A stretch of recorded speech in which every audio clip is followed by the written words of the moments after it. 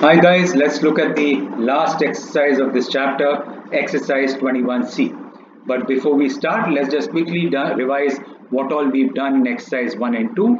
We talked about volume of a cuboid in the first exercise and volume of a cube. This was length into breadth into height and this was length cube. Then we talked about total surface area which was 2 times length into breadth plus length into height plus breadth into height. In this case, this was 6L square. And then we talked about the lateral surface area, which is basically the surface area of the four walls, which was 2 times length plus breadth into height. And in this case, it was 4L square. That's was our exercise number one. In exercise two, we talked about the cross section and we said this was in case of a uniform cross section. So all these questions are in exercise 2 are based on uniform cross section. We said volume is equal to area of cross section multiplied with length or height whatever you call it and then we said surface area which is excluding the front face which means excluding the cross section surface area is equal to perimeter of cross section multiplied with the length. And then the final thing was the volume which comes out of a uh, which flows out of a liquid. This was volume is equal to area of cross section multiplied with speed. So this is what we've done in this chapter till now. There is nothing new that I need to explain in this specific exercise. So let's try and solve this exercise directly so I am on question number two. It says auditorium length is 40 meter, 30 meter, or 40 meter by 30 meter into 12, 12 meter. This is a uh, cuboid shaped uh, auditorium.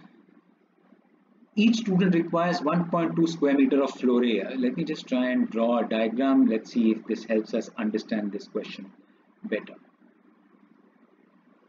Perfect. So then this is our auditorium done. This is 40 meter the breadth is 30 meter and the height is 12 meter. Perfect. So each student requires 1.2 square meter of floor area. So what i'm marking in red right now which is the basically the floor of this uh, auditorium one boy requires 1.2 square meter of area another boy requires 1.2 square meter of area. Third boy requires 1.2 we need to figure out how many students will fit in. And this is basis the floor area which means we are talking about the floor area. So which means area of floor is equal to length into breadth in this case 40 meter into 30 meter which is 1200 meter square. Right? So this is uh, pure uh, unitary method. 1.2 meter square is required by one student which means if we have 1200 meter square how many students will need it? 1200 meter square will fit 1200 into 1 upon 1.2 which is 1000 students. So that's the first part of the question 1000 students. How many students? 1000. Next, find the volume of air available for each student. So first we'll find the volume of air in the full auditorium and divide it by the number of students. So volume of air in auditorium would be equal to length into auditorium will be equal to length into breadth into height that's 40 into 30 into 12 meter cube. How much is available per student? Therefore, volume of air for each student would be equal to total volume upon number of students in this case 1000 so 40 into 30 upon 12 divided by 1000 this goes so this is 4 into 3 12 12 into 12 that's 144 144 divided by 10 that's 14.5 14.4 meter cube. That's 14.4 meter cube. Done. That finishes this question for us. Let's look at the next question. The next question that we do is question number 3.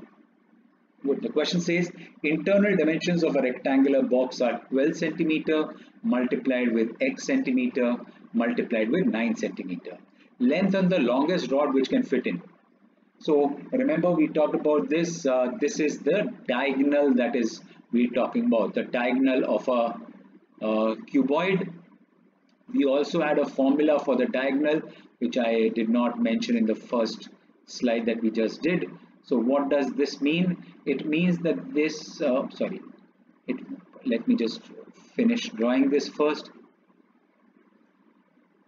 Done. So what does a diagonal mean? The longest diagonal which will fit in, if I draw it in a different color, will be from one end of this wall to the other end of the bottom end of the other side, which is diagonally opposite. Remember, we've done the formula. Uh, this is a diagonal of a cuboid is equal to L square plus B square plus H square, the square root of it. In this case, diagonal is given as 17 centimeter.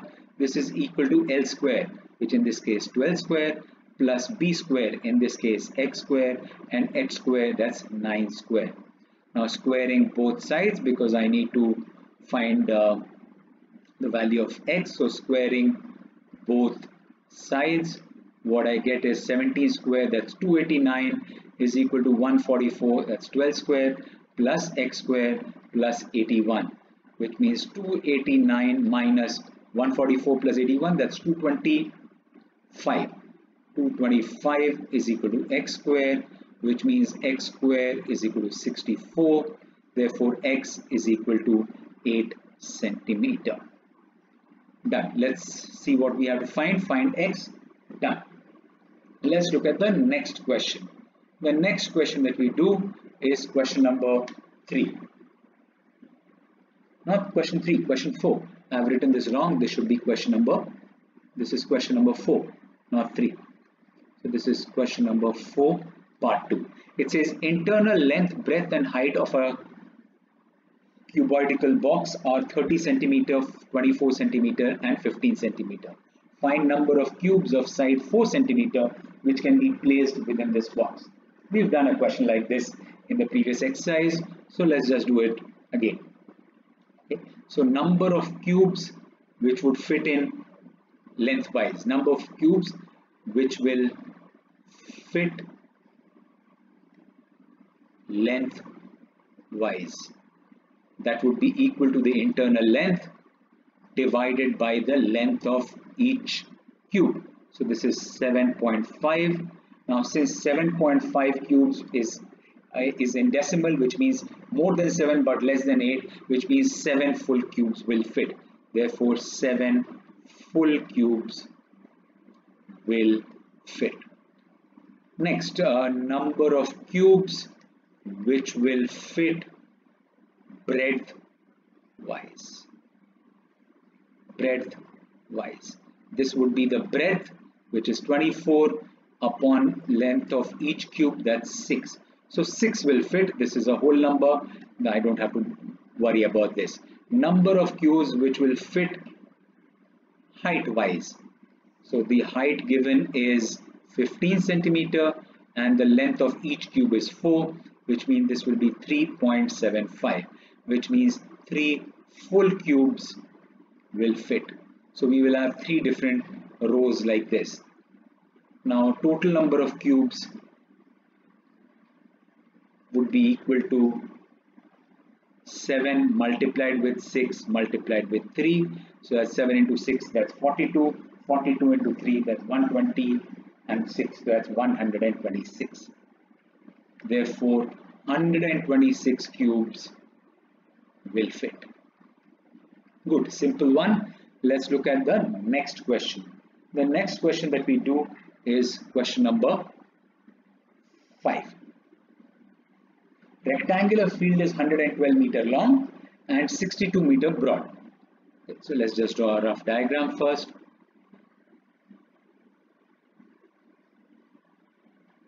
This is the rectangular cube that they are rectangular field that they are talking about. This is 112 meter long and 62 meter wide.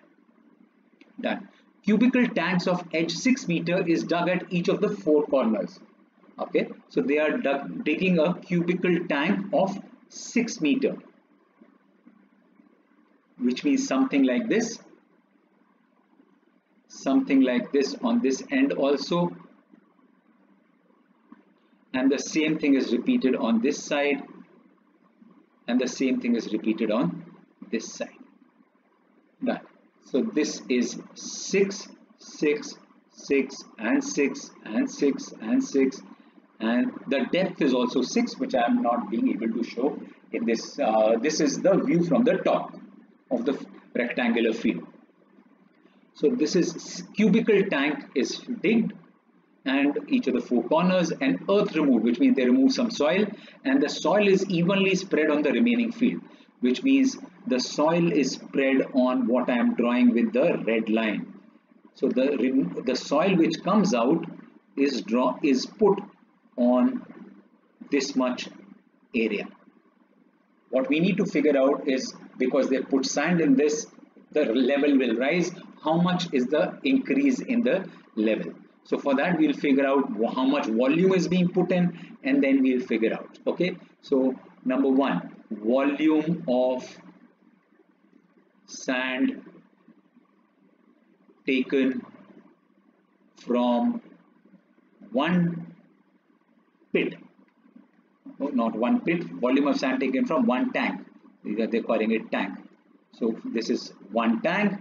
This is uh, length into breadth into height which in this case is 6 into 6 into 6 meter cube which means volume of sand from four tanks will be equal to 4 multiplied with 6 into 6 into 6 meter cube. So this is the volume which is being spread over the area that I have marked in red. Okay, so volume of uh, so uh, we don't need to write this, we've already written. This is the volume which is being spread over the area. So now let's find out the area which is here and see if uh, we will be able to figure out the increase in length. So let's find out the remaining area. So remaining area of field is equal to total area of field minus area of four tanks. So the total area which is this minus the area of the four tanks. So minus this, this area minus this area so this is the total area of the tank would be 112 into 62 meters square minus area of four tanks would be equal to 4 multiplied with area of one tank which is 6 into 6 because this is a uh, this face is a square. So 112 into 62 that's something that I'll have to calculate. 4 2 2 that's 6 into 2 12 6 into 1 6 plus 1 7 that's 6 so 4 6996 6944 meter square minus this is 36 into 4 that's 120 and 24 so that's 144 meter square which means this is 6800 meter square. So this area of this which i'm uh, highlighting or uh, which i've shaded is 6800 meter square in which the volume that is being put is so much right? So we know volume is equal to area multiplied by height. So we know volume of sand would be equal to area of remaining field multiplied by the height which is how high it will be. In this case area volume of sand is 4 into 6 into 6 into 6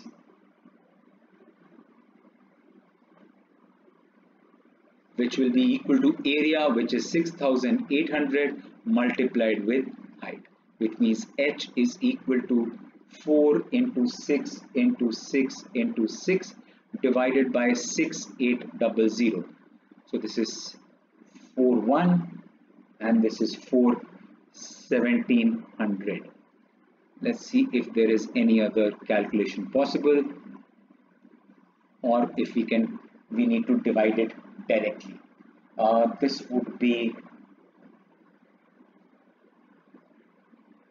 6 into 6 into 6 that's 216 divided by 1700 dividing it by 4 this will be 454 and this is 4 4 4s are 16 that's 10 so that's 2 and this is 5 so this is 54 upon 425 meter. I will have to divide this separately.